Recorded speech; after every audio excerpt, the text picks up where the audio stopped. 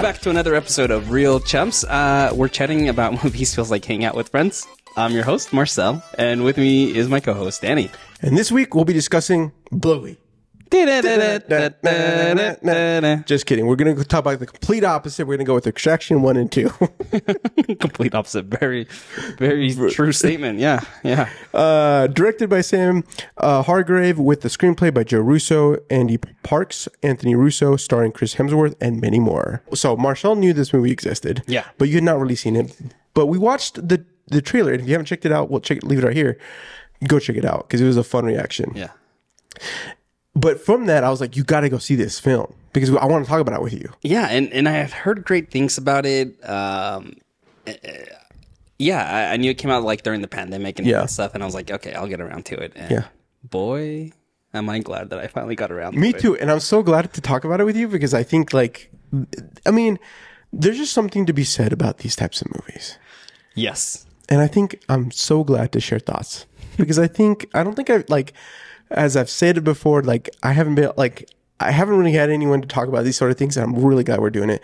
And if you also like to talk about these things, be sure to subscribe wherever you get your podcast for, for our show, or on YouTube, or both, or or not, Please do though. or please don't. Um, then I wouldn't have to be here at one o'clock in the morning. it's just if, just know it's one o'clock in the morning. We We're running on fumes, but we're gonna let our passions carry us through. that's what it is. Passion. Let's. We're okay. You recently you watched it like like a month ago. I watched the first one. Yeah, I watched the first one like the week right before the second one was coming. Oh, okay, out, okay. okay. Yeah, yeah. Because I was like, yeah, let's watch it, and then I didn't watch the second one until like a couple days ago. I gotta watch this movie before we do the pod. yeah, yeah. Uh, life happens, but yeah, I, I I watched it. I'm glad that I saw both of them like within the past like month. Yeah. for the first time. Really enjoyed the first one. Well, and we're gonna be talking both. yeah. Yeah. Um, but yeah, I love the I love these movies. I really, really love them. Like Really. really. like I, I, I'm looking at the rating on IMDb. It only has like a six point eight, but I'm like, no. Like What, what would you rate it? I honestly would give this like a so. I would give the first one like a seven and a half, and I love the second one. Okay. The second one, I'm giving it like an eight, eight and a half. I actually I give it a solid eight for the first one, and then I also agree with. I think I would go eight and a half for the second one. Yeah. I'm gonna so um I'll tell you where how my second one where where I watched the second one because on the first one I I remember being excited for this one because I was like this looks gritty. This is like something that we haven't had from uh, from Hemsworth since from from Thor. And I'm like you know what? I just want I'm here for this grittiness. And they touted this just like they did with they later again redid this with um the Gray Man, where the Russo brothers were involved. Right. And I freaking love Winter Soldier. Yeah. And so something about the action, something about the like the like raw, like just the up in your face with the action that just gets your blood pumping Right.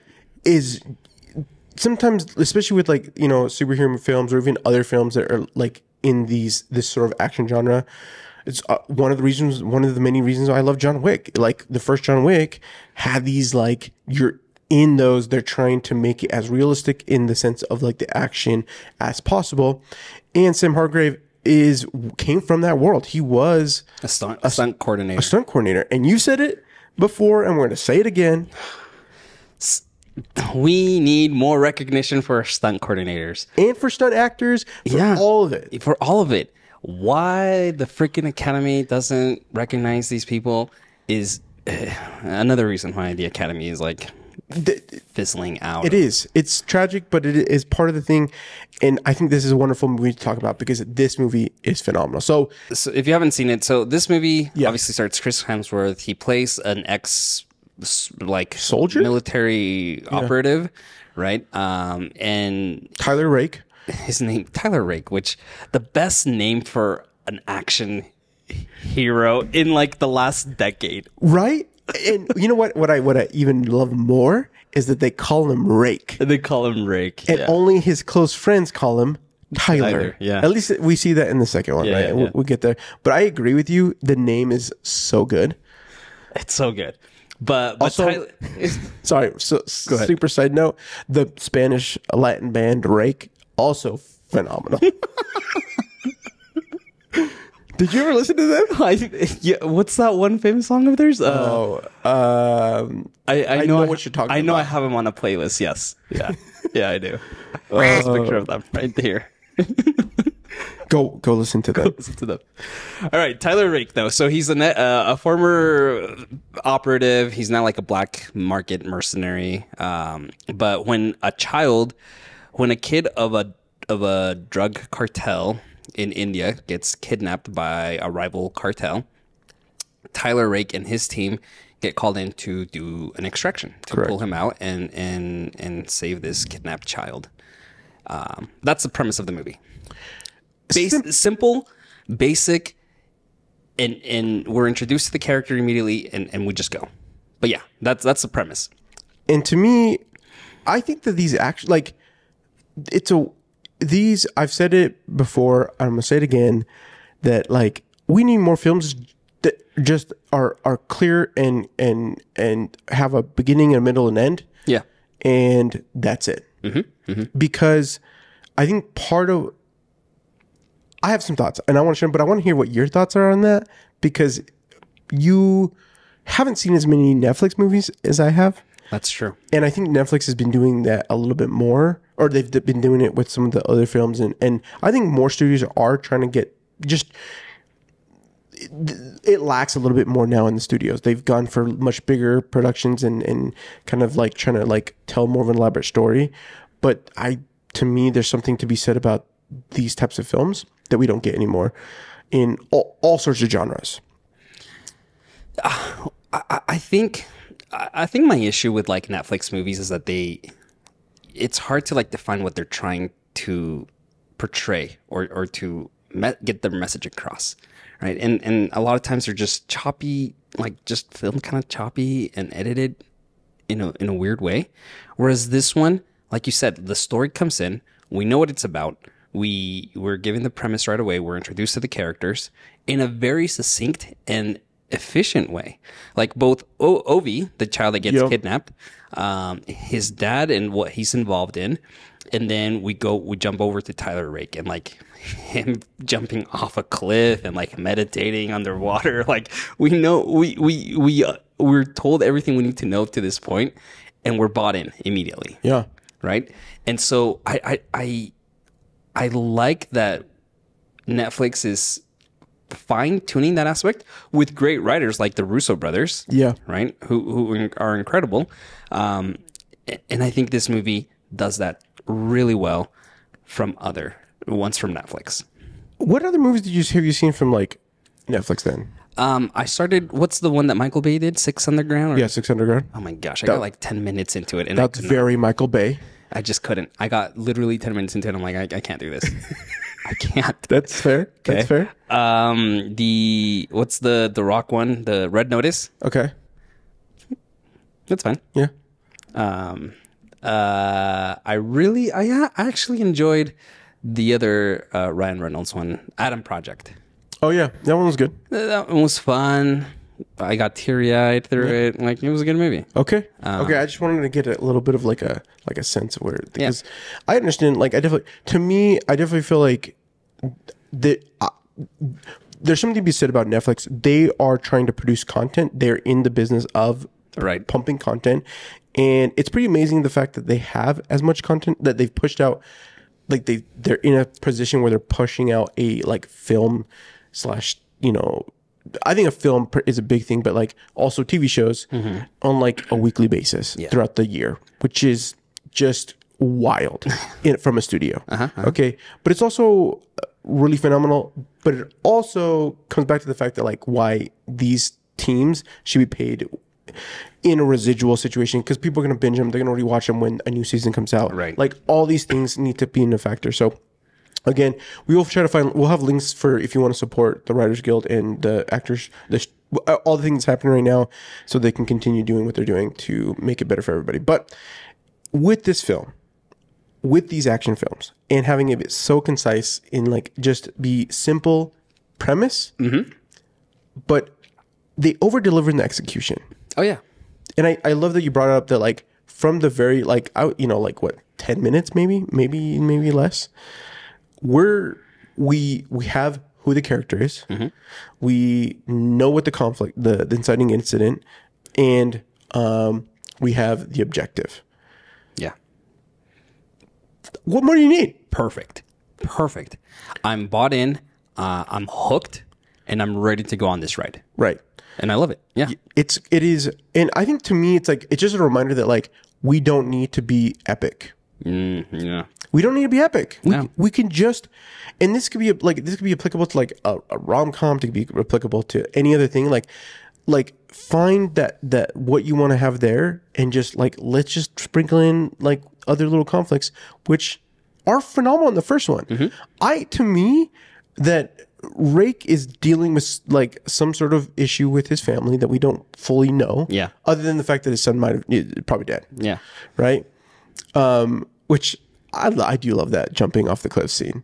I think I loved it more the second time I watched it though. Yeah. Yeah, Why? I don't know. I think I think part of it's because like I watched it once and like I got I saw I saw his journey. So the second time I come back to watch it, you like you I already know who Rick is Yeah. Yeah. as like uh this individual who's very he's a he's a he's a scalpel in the military. He's he's a very efficient. He knows what he does, right? Right. But there's like this weird like kind of not hobby, but like vagabond military sort of feel. Mm-hmm, mm-hmm. We have a lot of these, right? Like in in, in this type of like character has been portrayed in a lot of different like TV, and I don't know. I think part of it is like Chris Hemsworth, the way he portrayed Rake mm-hmm. throughout both films, Yeah. just really a like interesting character to kind of grow with. Yeah, and and I think, uh, yeah, we we've seen characters like this, but this one, characters that that are you know former Marines, former Black Ops, whatever it is, that carry some trauma. Yeah, But what's great is that his trauma isn't based on like the war, right. right? His is like a personal trauma because his his son died of cancer. Like we we learned that later on in the movie, right? Right. And so it, it it's this for up, up up to like that beginning why he's jumping in in the water and he's just sitting there. We don't understand this, but we get an idea of like this is this is a guy who's who's like almost playing with like death. Like Yeah. he's okay. Like Yeah. he might dr- drown in there, and he's okay with that. Like Or break his legs. yeah, Because that thing is freaking. I really want to know if he jumped. Yeah. I'm curious. I'm curious. Yeah. Anyways, But yeah, like it, like it, it's such a great way to introduce a character who who we we know that he's probably okay, especially because the movie starts with with with this shootout in in on a bridge.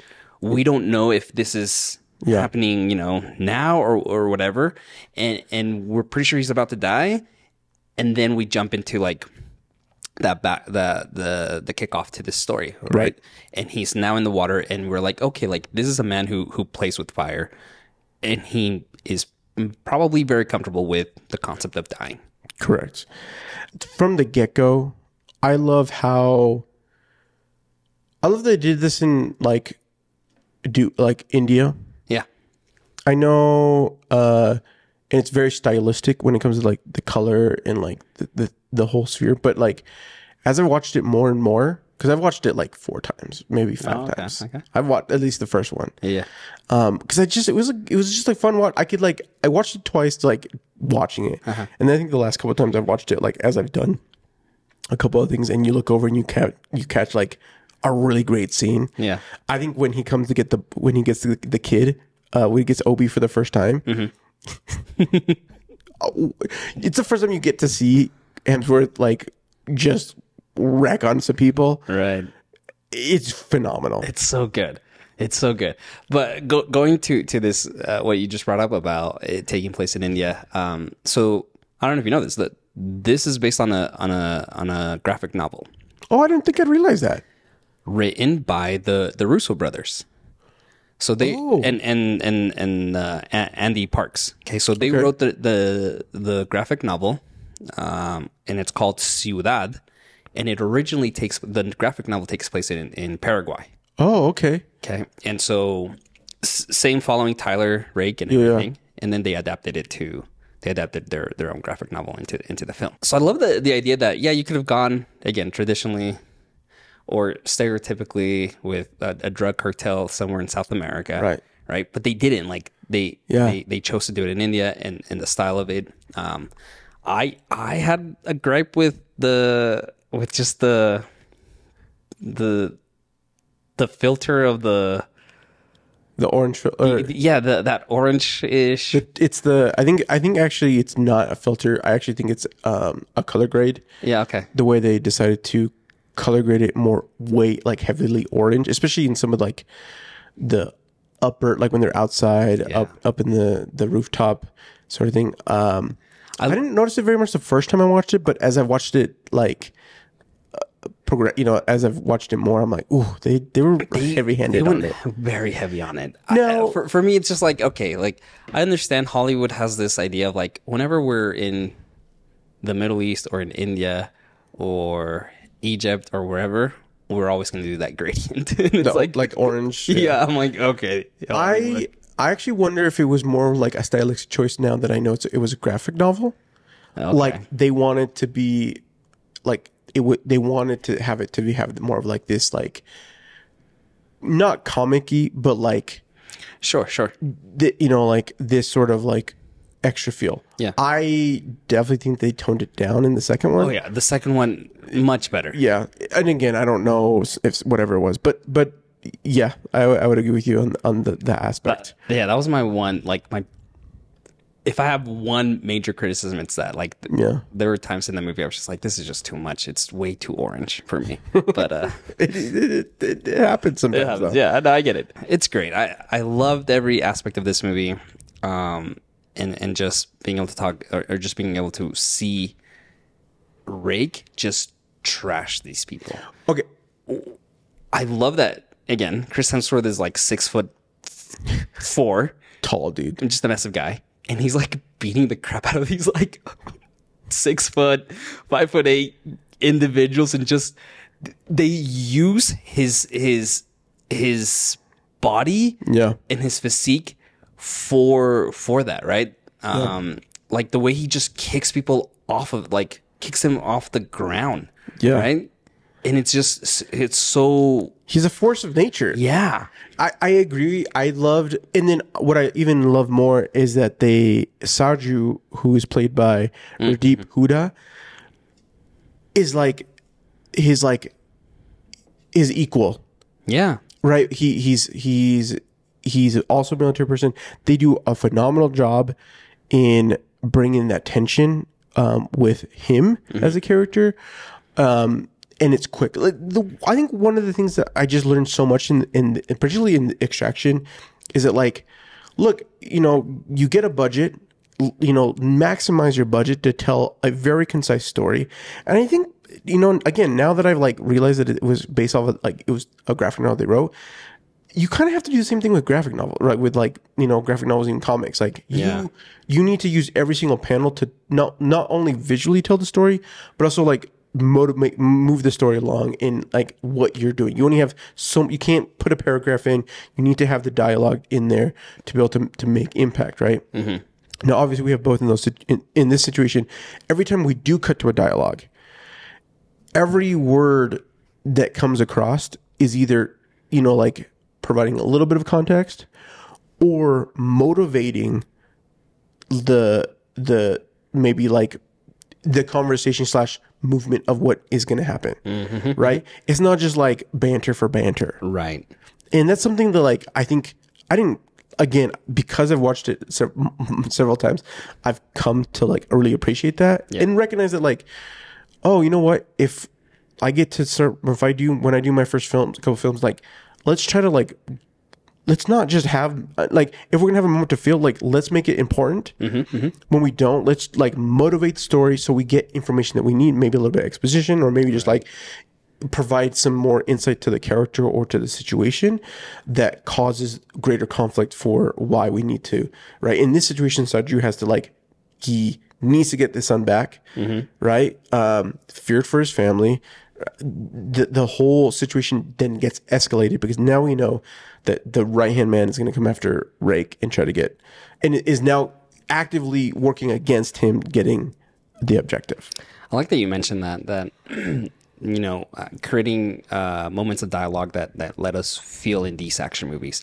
Something that I absolutely loved in, in both of them, and we'll talk more in, in, in the second one. But I love that we have the oneer. We'll get to the oneer in a sec, but we have the oneer that's eleven minutes, and then after that, the the movie then puts um, uh, uh, Ovi and and Rake in hiding Yeah.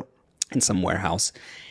And that's where where Ovi like really digs to understand Rake. And Rake opens up, tells him a little bit about his about his child, um, and some of that guilt that he carries.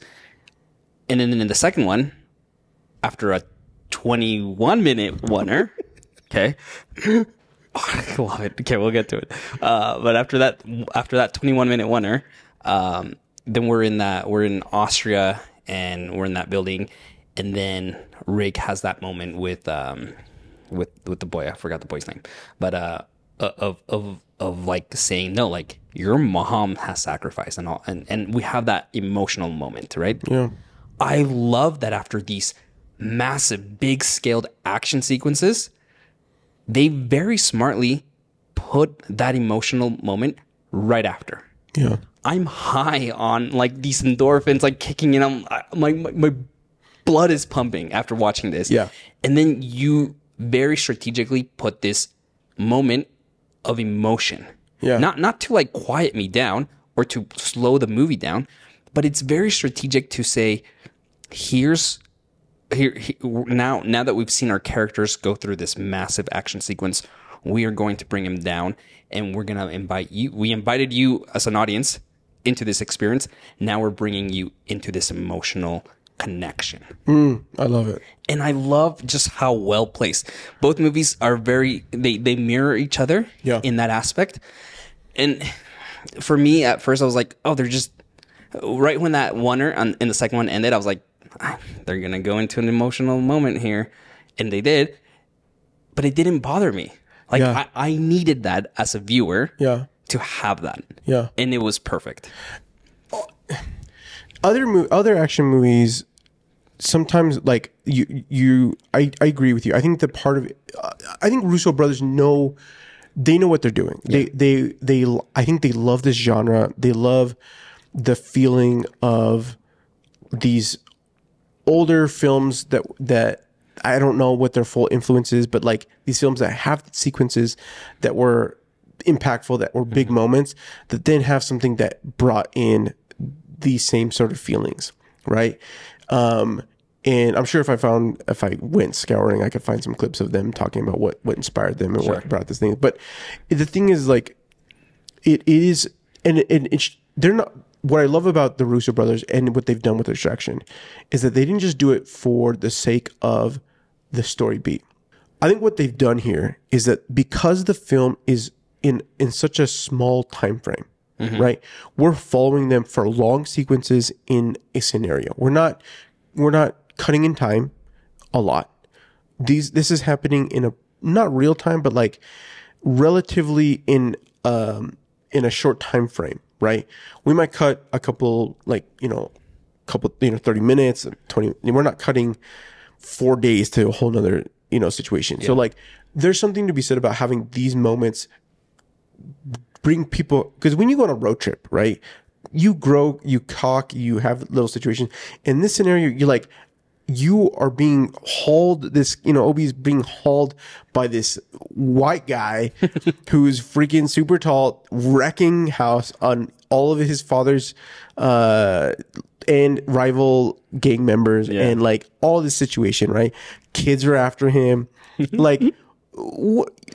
something to and not only that but like the fact that like the kid himself ovi also isn't as like shook as Yeah. maybe others other kids might be yeah because he's he's um, grown up in he's this. grown up he's he understands that this might be something that might is there in the whole aspect and I- again i think it just comes back to the fact that like if you're going to tell a story and you you only you're gonna- you know you don't have a budget for like something crazy, really like look at your characters and then say what can we do to help make like what things can we whether again comedy in in this case action like we're gonna make a really great action sequence. Mm-hmm. We're gonna make it we're gonna do our due diligence. We're gonna bring great trainers. We're gonna bring stunt coordinators who who who understand how to handle to do camera work to get what we want make it super immersive.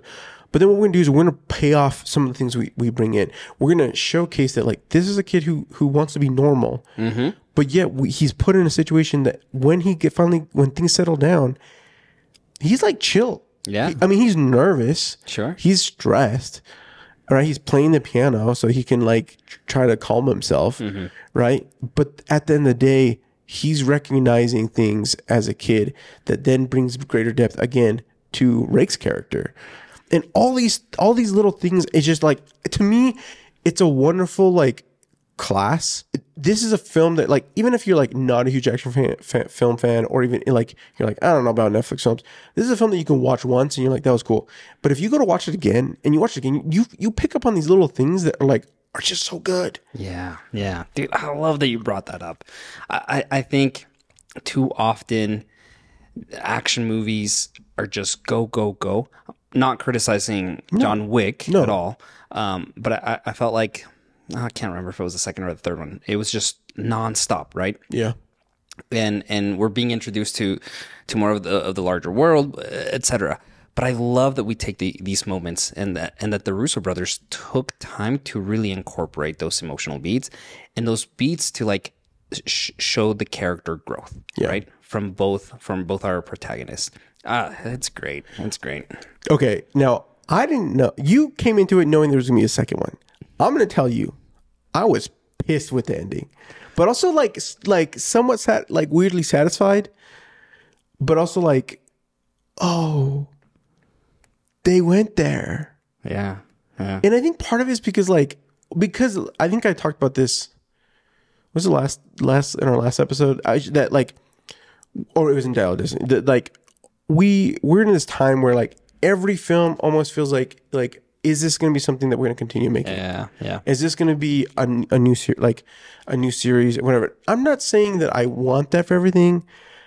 Uh, like I'm a, I, I love TV. I love serial television because it, you get to build characters, right? And there's something to be to love about that. But in a film, you also like there's like when it's big in- in a big production, you're trying to grow something. It can also be difficult because like if you leave on a cliffhanger or whatever, is there to me? I like I said like I was like kind of upset about it, but also I was like, I don't know. It's just like why? Of course that would happen. Yeah. I mean, like this guy is like he just he like his crewmates, people that he he he respected, were killed because someone else was trying to is disrupting the whole situation. He's pissed. I mean, that's that's upsetting, Yeah. Yeah. right? Yeah. He had to, you know, he had a friend in town who then he had to like freaking uh, betrays him. Mm-hmm. I can't remember. If, did he kill him? I can't remember now. Yeah, he kills him. Yeah, he kills him. Right. So He has a kill friend, right? Because he freaking betrays him.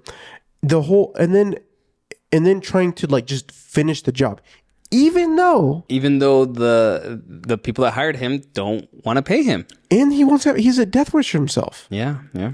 He's got a death wish. Like again, it's just like this weird payoff that like, well, he could just not try so hard, All right. Right. but that's not who he is. That's not who he is. No. Oh, that's And so good. So and so when I found out when we did the for the second one, I was just like, yes, So it's interesting because, like, again, I, I went into it knowing that there was a second one, yeah, and when that payoff happens, it was satisfying. Part of me was like, "Well, how are they? How, wait, what? are they bringing him back? Yeah. right." But it, it it was satisfying as an individual movie, right? Yes. and I loved it. I absolutely loved it. Yeah, and like you see, like at the end when Ovi jumps into the swimming pool and he comes out and there's that shadow back there. Oh, it was so good. That shadow silhouette standing in the background. I was just like, is it Rake? It's gonna be Rake. It's gonna be Rake. Oh, but I loved it. Okay. Let's let's let's talk about the oneer yeah. because these talk about it. these movies now have a signature. Um, Uh, yeah, they took they took a lesson from Daredevil. yeah, yeah. and they're like let's you know what let's And- one up that those guys. 10 times up it.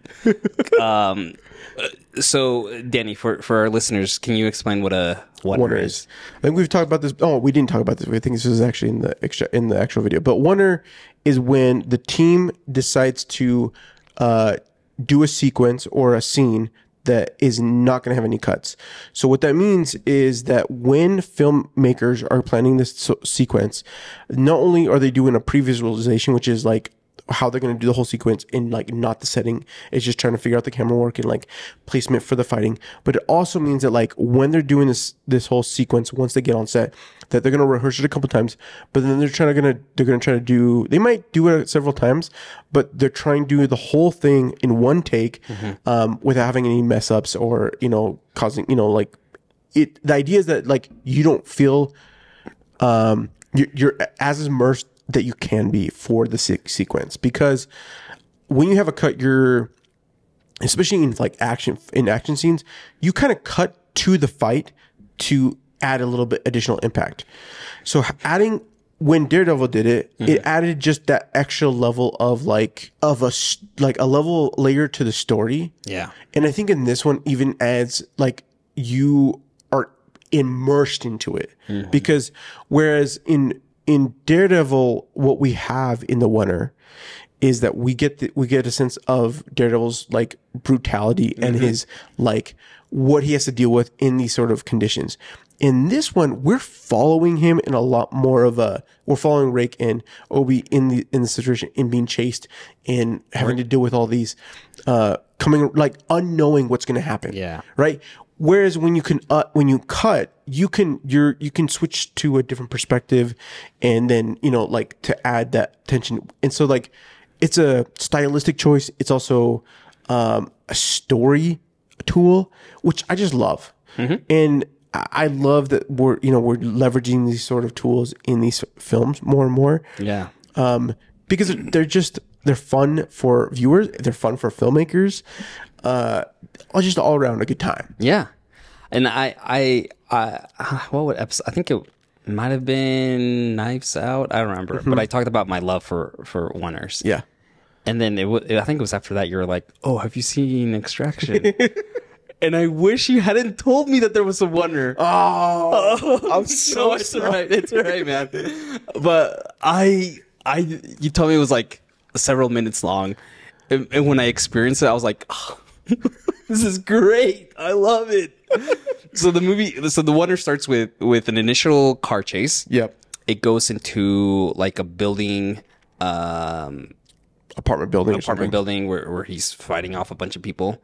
And then it goes into a brawl on the streets and then into a last car chase. All in like 11 minutes, Yeah. which was wonderful. I, here's what I loved about it. You and you just said it perfectly. Daredevil, let's go back to Daredevil.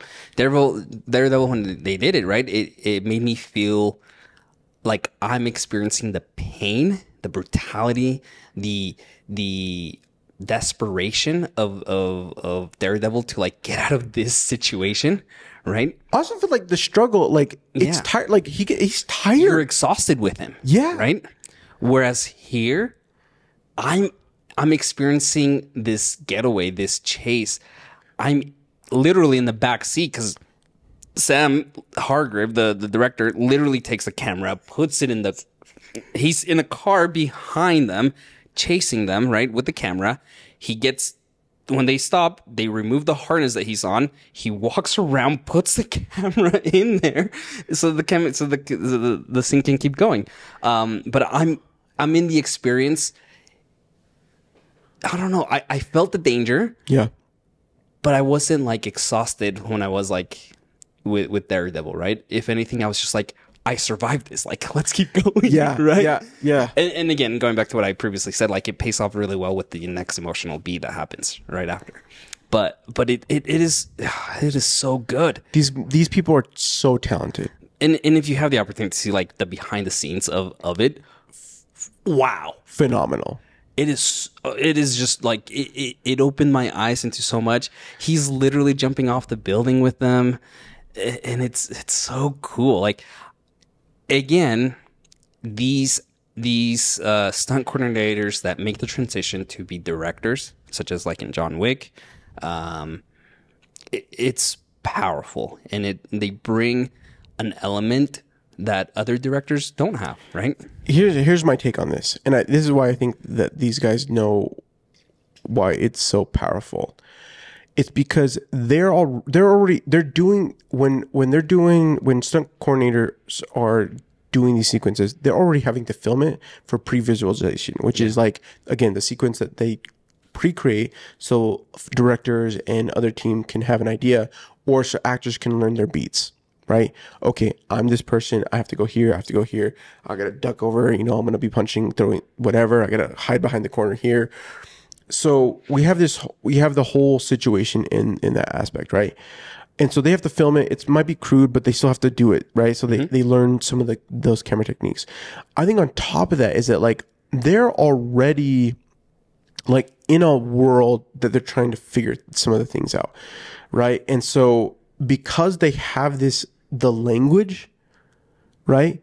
And they're comfortable getting in these kind of like crazy situations. They're comfortable understanding um, you know what? I'm gonna go digital. I'm not gonna go film. I want to be i want to get into the action.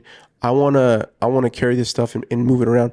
That adds that extra little flavors to otherwise where like i'm gonna go i might with a steady cam or, or whatever like it just there's something about that that like they understand Yeah. and it's the same thing I tell with like clients or even like the, I, I experience myself that like that's why I love shooting, editing. Uh, like I work with people, like I produce and then I shoot something and then I edit something and then I deliver something and then I analyze things because like then I have this experience of the process, right? And I can empathize slash understand what they want to get. Right. Right. I may not be able. I may never have been able. I've never done something like this, but I know that I have the skill set to that like understands what we need to ha- needs to have happen to tell that story. Sure. So like Hargrave can come in and like, you know what? Okay, I know some guys, or I know, um, I th- in you know like Russo's. They come in like, we want this is the script that we want. We want to do a oneer here. All right, okay, uh, we're gonna work on that. We're gonna make it. We're gonna. We're, this is what we're gonna do. Blah blah blah. They figure it out because they're they they want to make it good. No, yeah, I, I love that. Let's. uh Anything else on on Extraction One? No, I think that is good. Well, uh, yeah, let's go extraction two because this freaking movie. And and and listeners and viewers, we're gonna have a go check out our, our YouTube page because we're gonna break down our our favorite scenes from Extraction One and and two. Um, So if you want to see a little bit more of our love for Extraction One, go check that out. Yep. Um, okay, Extraction Two. I So, so listeners, so this movie picks up immediately right after Correct. the first one. Tyler Rake barely survives by I don't know how. here's the you know what I, I sometimes sometimes I I'm like oh how can he survive? But this guy's a military guy. Sure, sure. Also, he falls in the river. That uh, there's there is like you know like you can.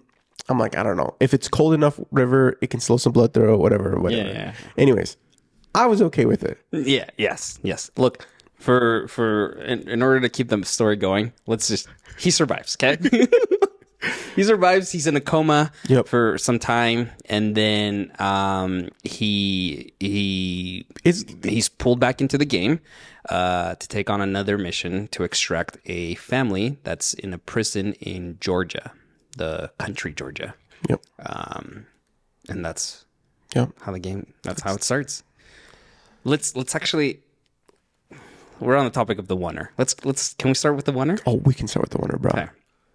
So let's actually listening to an, to an interview from from uh, the director Sam, and he was saying that the Russos came to him and said, "Hey, for the next one, how awesome would it be for for Rake to have to escape a prison?"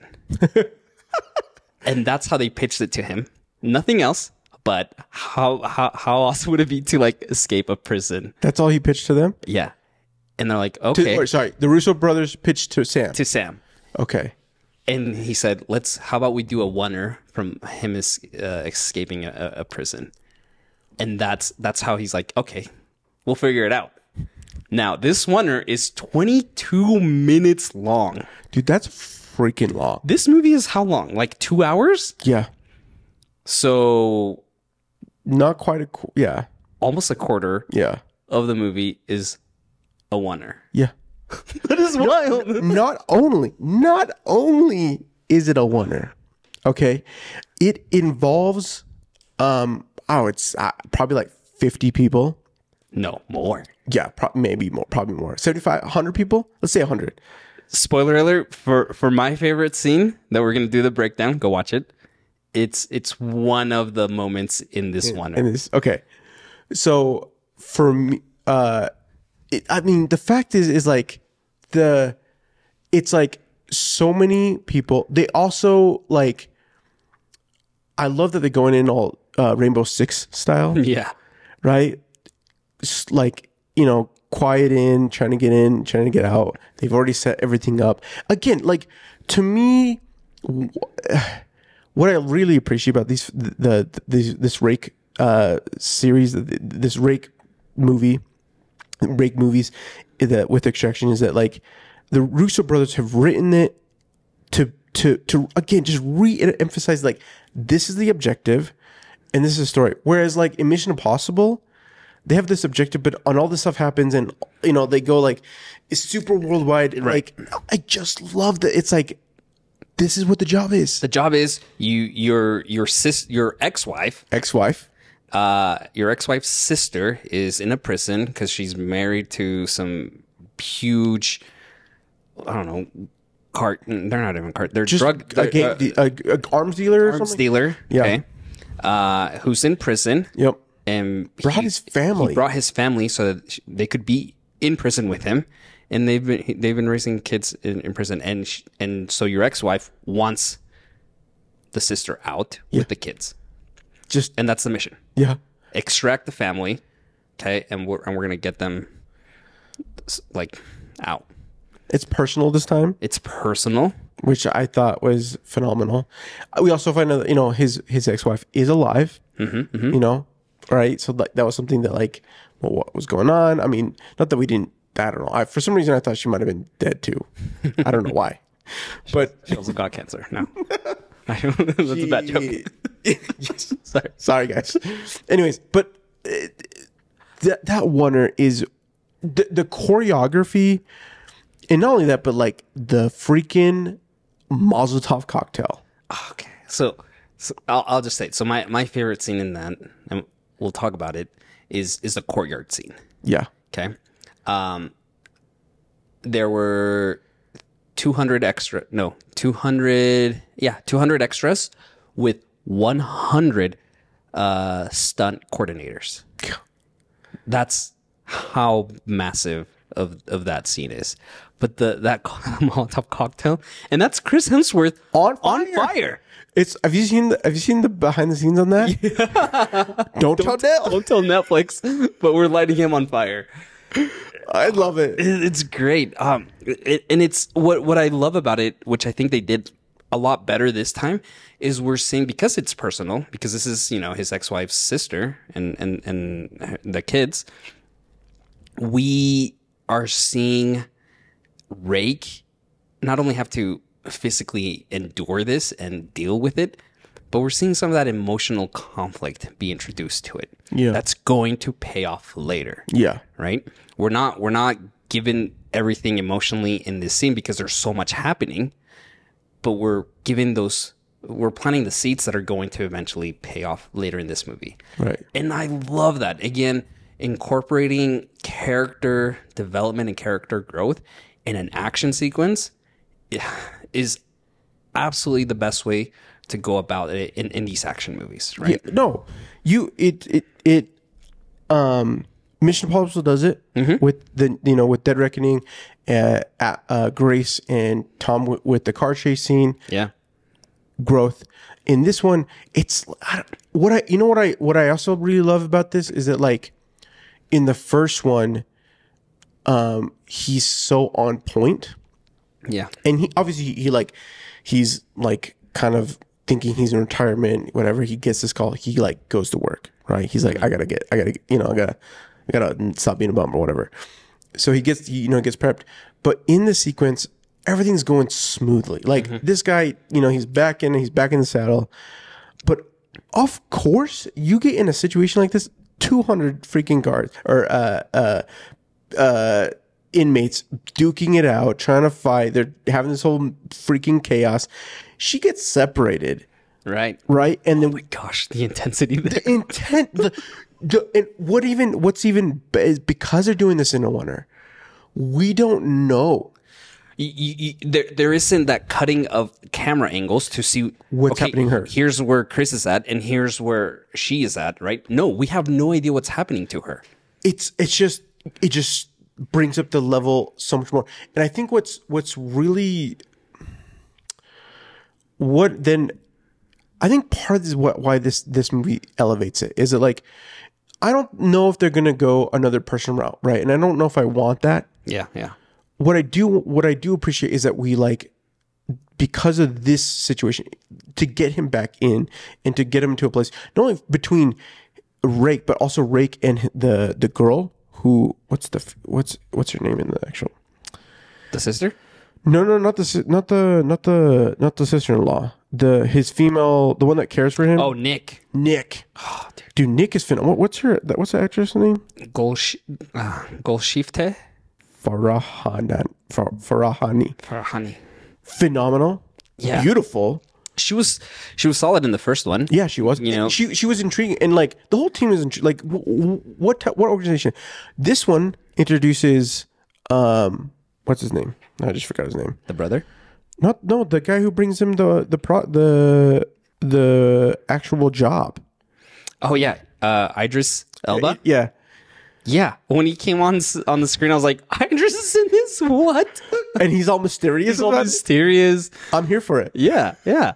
So and and so like the whole thing again. They're doing like they're playing with the whole John Wick like world. They're building a, a world in here. Yeah. which again it's like one of those things where like in a film what i love about what they did here is that like if we never know anything more totally fine. Totally fine. if we do great. Yeah, yeah. but like in this one i i love that like nick and rake have the the moment of like like understanding one another. Not only like but we get to know that like she really cares for rake. She mm-hmm. like she to some degree maybe there was something there for them but they just it wasn't gonna ever be. Or she found they found each other after the holdup situation and like just like what are you gonna do with rake?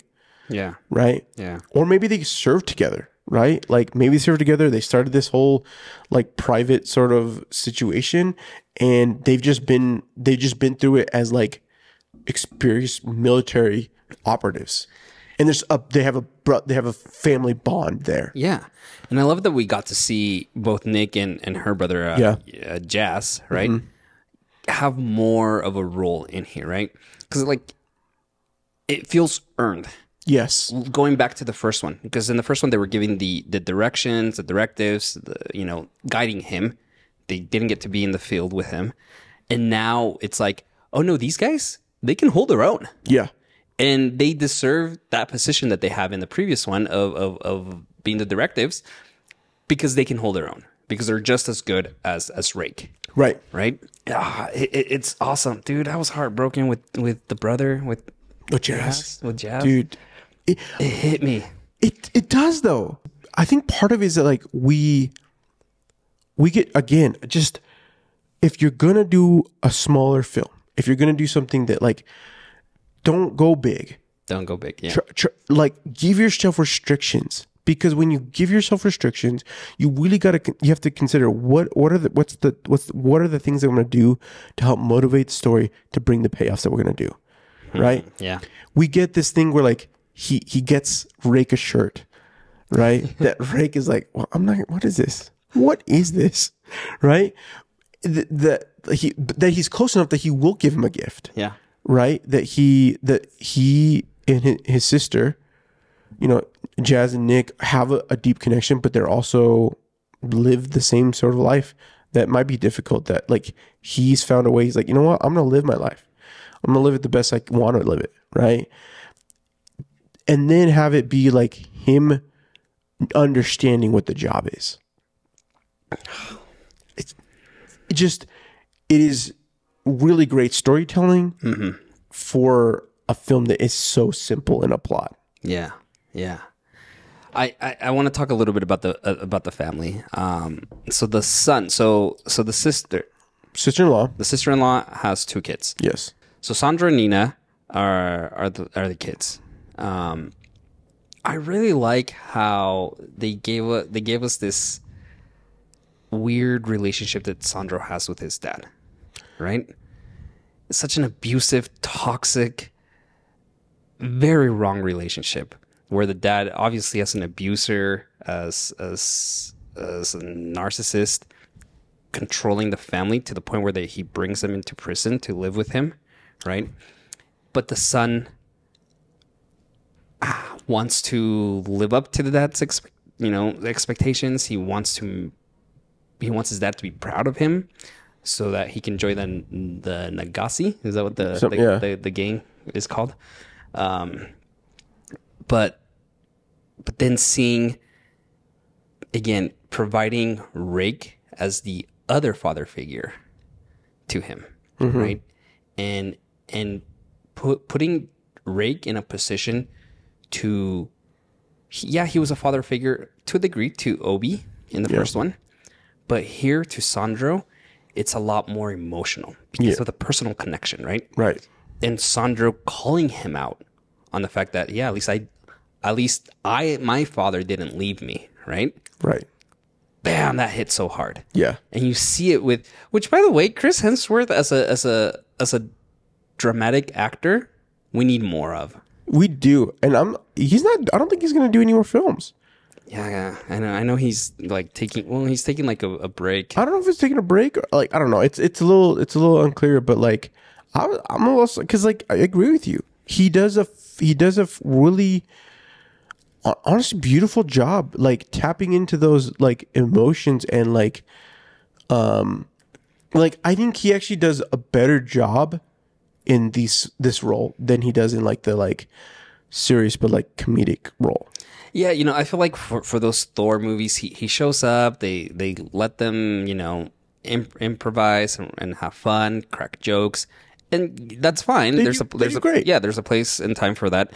But like to to give Chris Hemsworth the the content, the the the script that forces him to pull out these emotions, he is really good at it, mm-hmm. and I really want more of that acting side from him. Hmm. And, and and and it's and it's done so well because he, he again he has this emotional moment. He's with Sandro, and and and they go back and forth as to why Rake is a, was a bad father and why Sandro's dad is a bad father.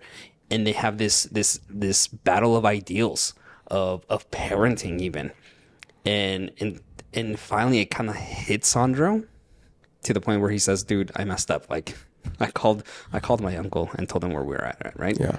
Um, but it's just I love that side. I love again that after a 22 minute oneer, uh, filled with so much action, we are then pulled in to this small room and for them to just have this dialogue between the two of them. Great job on also the the actor, the the kid Sandro Yeah. does wonderful.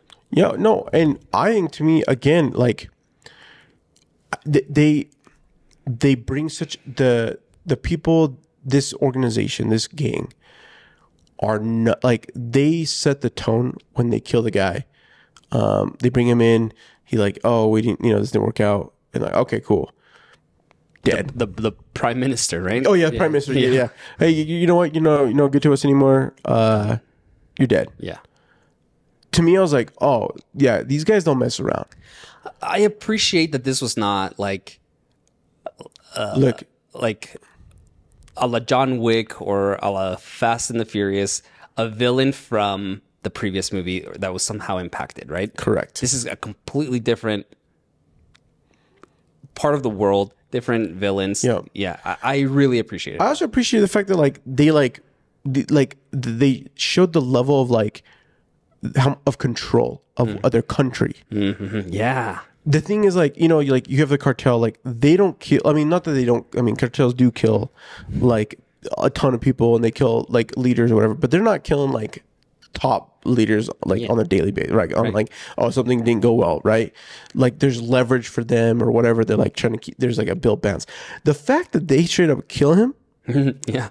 it, it just shows the level of like what they're willing to do what they have control over what they're doing And the threat that and they the are. threat they are Right. right and so which again just brings in the payoff that they bring they have a whole sequence at the the this safe house building that they're hope you know they're thinking that they won't you know they'd be fine but because uh he calls his uncle and not only that but like the the conflict between in the family alone Yeah. just you know like look do we really need to do this Yeah. I, I love the dynamic that Sandro has with his mom as well, oh, right? Oh, yeah. And it, and it, it, it hits so well because you you you've seen the abuse that that mom has taken from dad, right? Yeah.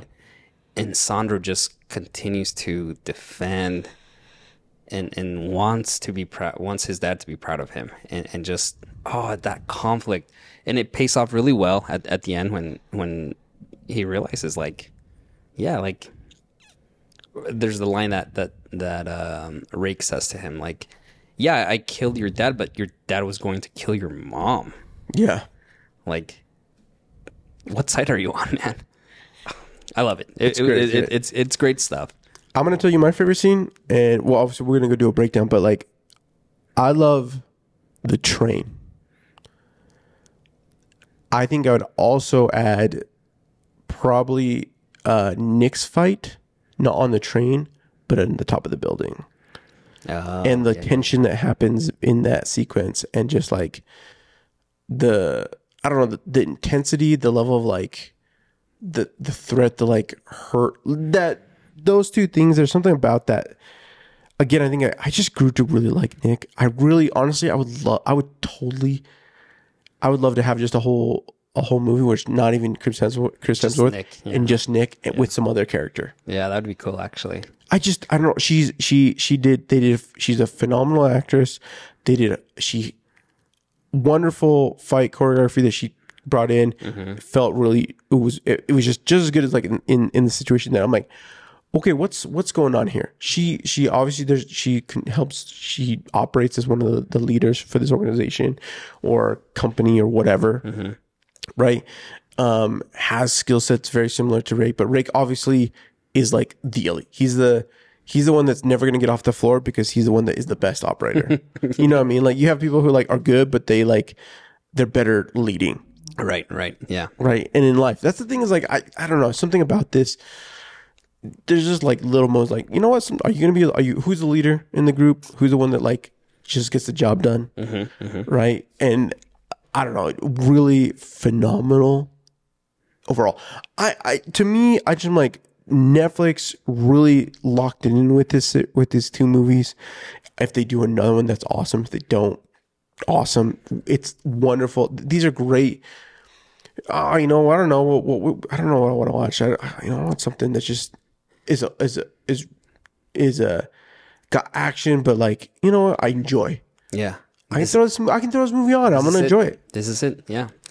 Well, one last thought on my end. I, I wanted to reiterate, and we talked about this in our episode with Mission Impossible, uh, with Red Dead Reckoning. Just the practical use of like practical stunts. You know, mm-hmm. going back to you just mentioned the train scene, right? Like, and we'll talk about this in our in our other video, but like that's a real that's a real train, and that's a real helicopter, and and that's that's Chris Hemsworth, twenty feet away from the blades of the helicopter and it adds to the authenticity it adds to the threat.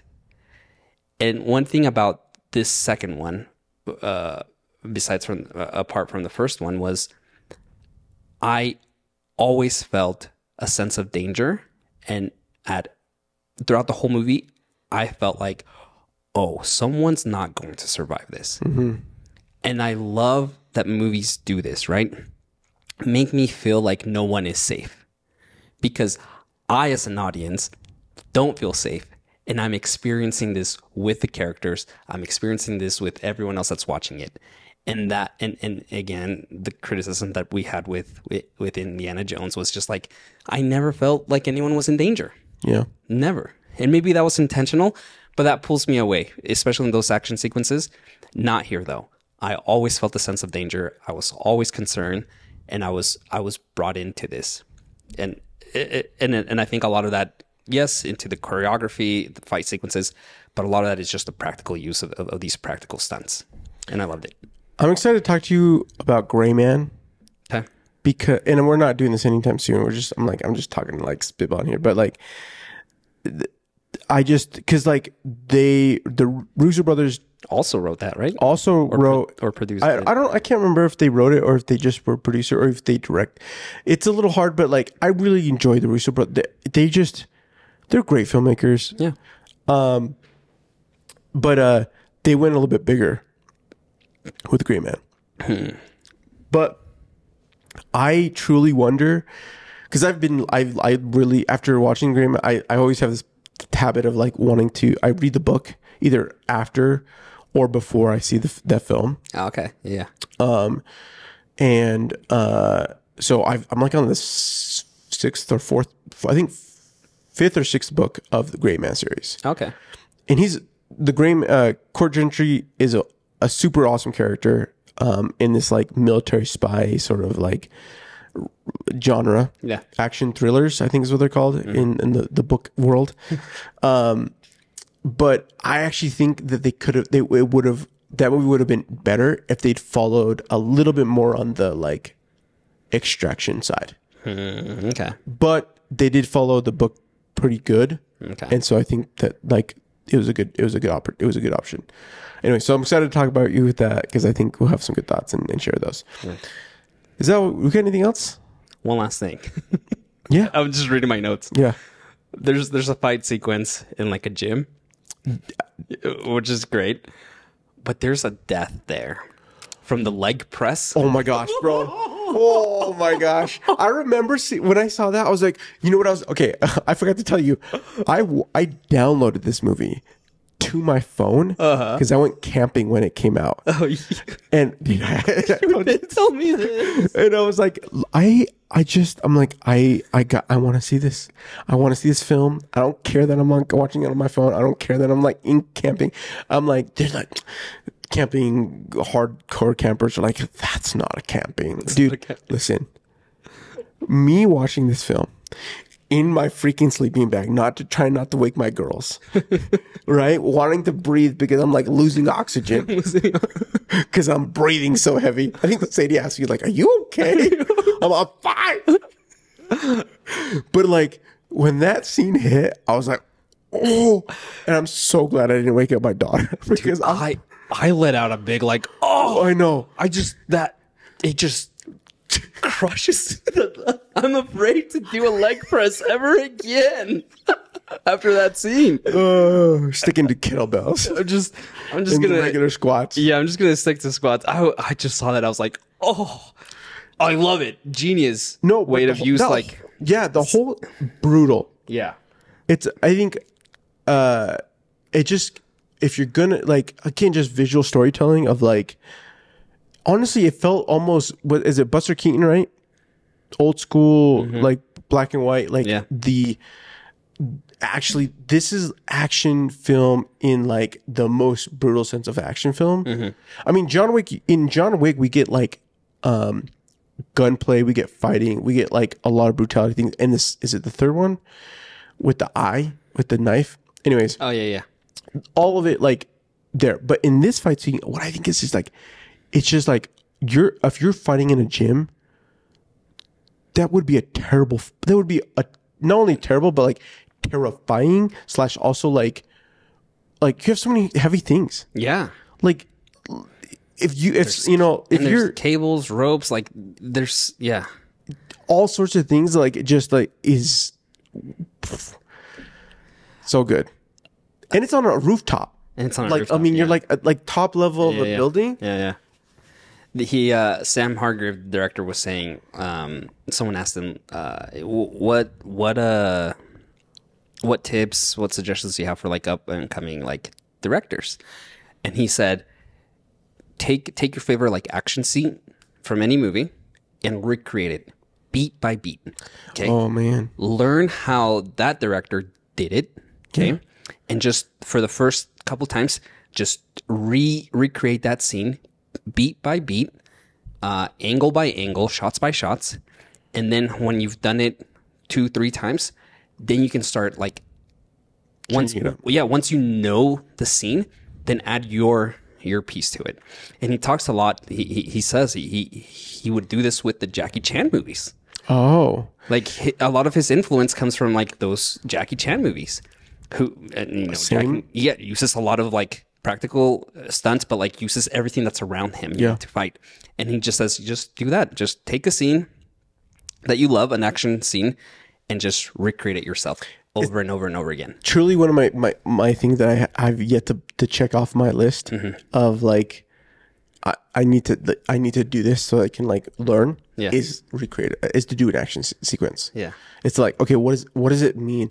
Part of it's like because I'm like I'm like I'm not gonna call my friends to get hurt. I'm like I need to like I need to go call like a gym, like a like a like a you know like whether that be like a you know a jujitsu gym and be like, hey guys, I want to do this sequence. Like, Mm-hmm. can we? Do you want to partner up just for like the heck, you know, kicks and giggles? Because it does like it's it is freaking it's a workout. Like you Yeah. know, like it there's something having to do replay. Anyways, great. That's a wonderful tip. Yeah, I thought it was awesome. I like that. So good. Okay, that's Extraction. If you haven't seen it, go watch it. it. They're solid movies. They're super fun. Have them in the background. Sit down, watch them, experience it. It's it is one of these movies where I wish Netflix had released In theaters. theaters. I agree. I, I think it would have been, man, watching it even like in an IMAX, not even an IMAX, just in a regular theater for one of the, like for the second one in the winter, Yeah, the helicopter scene would have been freaking intense. would have been awesome. Yeah, Um, so good. We truly, truly a fun gift. Chris Hemsworth and team Russo brothers put together. Hargrave coming in doing his thing. It's truly some beautiful, beautiful storytelling, wild action, and a good time. we hope you enjoyed today's episode. Uh, we would love it if you could subscribe on whatever platform uh, you like to listen, as well as give us a five star rating, since it helps us get discovered on on the charts. More importantly, uh, let us know what you thought in the comments down below or send us an email at your at reelchums.com. We haven't said that in a while. Yeah. But uh, definitely you can do that. Um, again, we will be releasing some scene breakdowns of like our thoughts, why we love it, uh, what, you know, that everything on YouTube, as well as some uh, trailer reactions. So be sure to subscribe there. You can follow me on Twitter at review underscore TV. I'm also on Twitter at Marztrosity, M A R Z T R O S I T Y. Join us next week as we discuss Poker Face. I'm so freaking excited to talk about this. If you're a, a regular listener, you know we, we love Rian Johnson, yes. and this is his uh, series on Peacock. Peacock. So make sure you watch and come back and listen. Catch you next time. Later.